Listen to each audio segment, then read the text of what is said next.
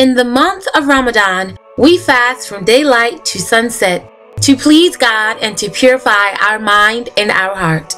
While we make the choice to go without food and water, some of our brothers and sisters do not have the luxury.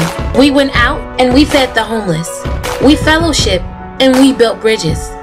With the intention to give spiritual and physical food, we linked up and we joined together as one. Jamila from Muhammad number one and out here getting ready to feed the homeless with our Muslim family. With the love for each other and our people, we gave our all on the streets of Detroit. How was it to be with Christian, your Christian brothers and sisters, your brothers and sisters from the nation? I mean, everybody coming together for the same kind of cause. I think that makes it even more beautiful to say that despite whatever branch or sect of religion that you are, if you believe, then the objective or the goal is the same, and it's to strive to do God's will. Yes, ma'am. And what's your name? My name is Khalifa. And what are you? I'm from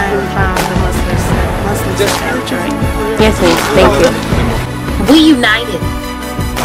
We came together and we made a commitment to God and our people to not just set aside some of our differences, but to set aside all of our differences to feed our people every week.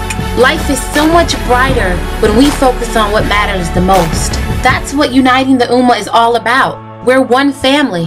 Taqwa Hassan, the Muslim Center. Lamar Ward, Muhammad Mosque number one. Medina Muhammad, the Muslim Center of Detroit. His brother Daryl from Muhammad Mosque number one. Liam uh, Mahdi and the Muslim Center of Detroit. Brother Akbar.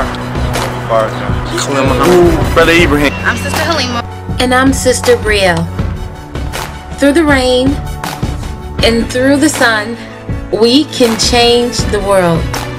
Every Christian, every Muslim, whatever your religion, as long as you are in the spirit of making the world a better place by doing the will of God, we can make it happen.